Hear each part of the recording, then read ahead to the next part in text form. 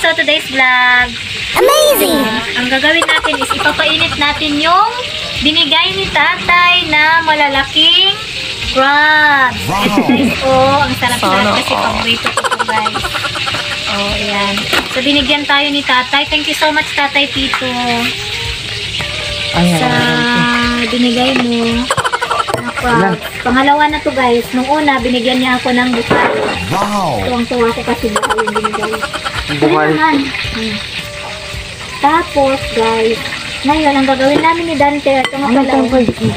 Si Dante, nagluluto ng fried chicken, guys. Ang sarap-sarap talaga niya magluto. Ayan, oh, see that? Oh. So, ngayon, guys, titanggalin ko yung tali at ipapainit natin. Subscribe lang kayo. Wait lang, guys. Nahihirapan ako magtanggal. So, ayan. Tinuturuan ako ni Dante Diaz. So, ang, anong gagawin mo dito, Dante? Kasi explain sa kanila. Wow. So, ito. Amazing! Yan, yung butter. So, ito. Sino ka tabigyan mo na? Ang ingay mo. Alam mo ba ito? Iyarang lang lang. Guys, Ah! Patalastas lang yun.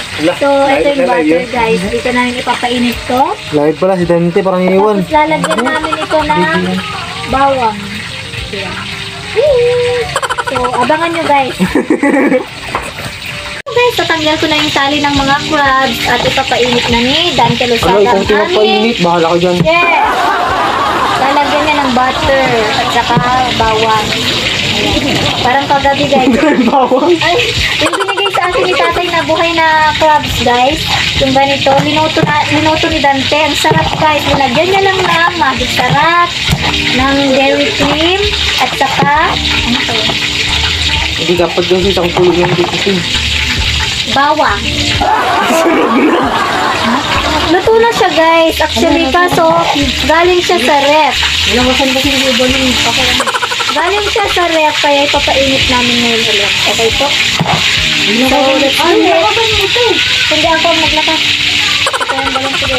So, guys, see you mamaya after pag nag na tayo. Tignan natin ang mga expression.